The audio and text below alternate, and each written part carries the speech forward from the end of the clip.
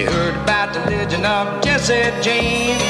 And John Henry, just to mention some names. Well, there's a truck driving legend in the South today.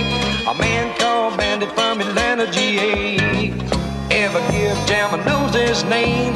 They swear he got ice water running in his veins. A foot like lead and nerves like steel. He's gonna go to glory riding 18 wheels.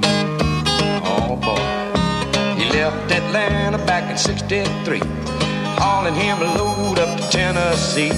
He hit Monteagle in a driving rain, so hard he couldn't even see the passing lane. Well, he started down the grade when he lost a gear. He hit them brakes, found he had no air.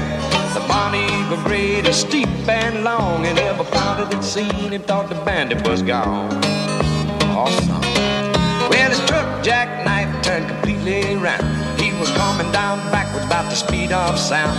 A lot of folks seen him, and they all say he had his head out the hill and clear the way.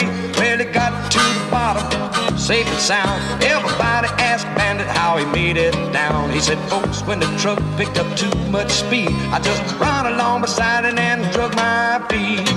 You heard the legend of Jesse James